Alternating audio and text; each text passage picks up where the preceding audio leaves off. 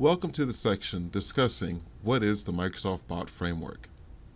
When writing, developing, and deploying bots, developers face numerous issues.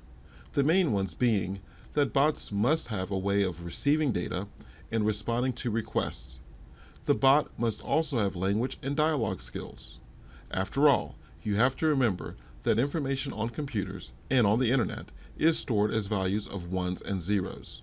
This may work well for computers or bots, but it does not work well for humans who need the information. So, developers have, come, have to come up with a way for the bots to retrieve the ones and zeros and translate the values into a way that humans can use. Another issue developers face is based on the fact that their bots must be performant, receptive, and scalable. By being performant, the bot must be able to work or perform. This is regardless of the hardware or software that it is running on. Due to this requirement, bots tend to be simple in their design and able to work on almost any kind of network. But also, the system or hardware that it is deployed to must be reliable. After all, a bot is useless if it is not up and running. To be receptive, the bot has to operate 24 hours a day and 7 days a week with little or no oversight. This requires the developer to foresee any possible issues which may arise and account for them in order to keep the bots running. And finally, a bot must be scalable, which means it must be able to grow or increase its size based on demand.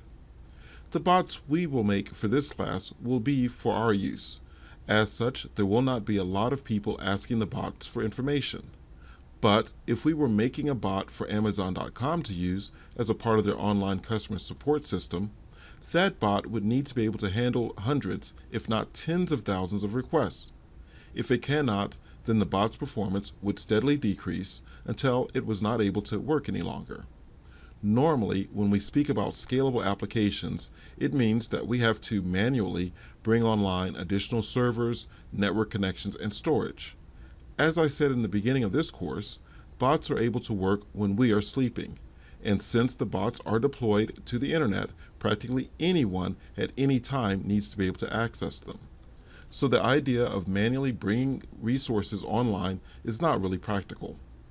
Also, the software code itself must be able to expand automatically to take into account any new resources.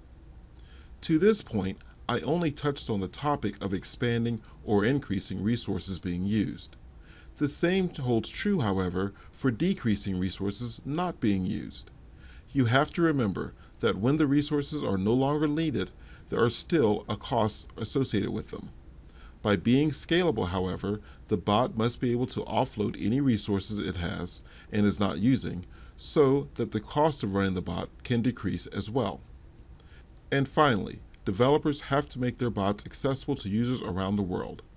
There are many channels which can be used to do this. However, they are all different and have differing requirements.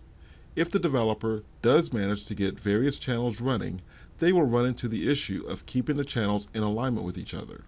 Can you imagine the confusion that would come if you accessed a bot using SMS and received one answer, and then accessed the same bot on Skype and receiving a totally different answer? Microsoft Corporation created the bot framework to make the work of building and linking bots to users easier.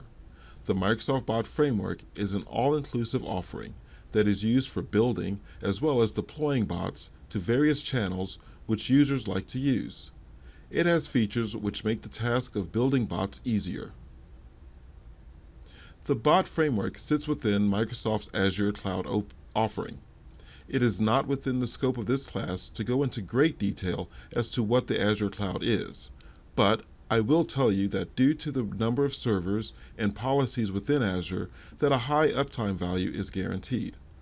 Also, they are able to offer several channels for communicating with bots.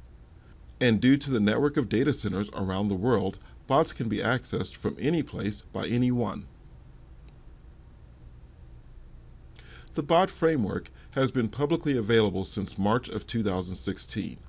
Also, Microsoft has committed to continually updating and improving the bot framework by introducing new tools, models, and communications channels. And perhaps the best part is the bot framework is free to use. The bot framework consists of three main components, which include the Bot Builder SDK, the Developer Portal, and the Bot Directory. The Bot Builder SDK has various tools for creating bots. It is open sourced, meaning that the source code and documentation can be used and changed by anyone. It is hosted on GitHub. The Bot Framework Developer Portal allows developers to connect their bots rather seamlessly to various global communication networks.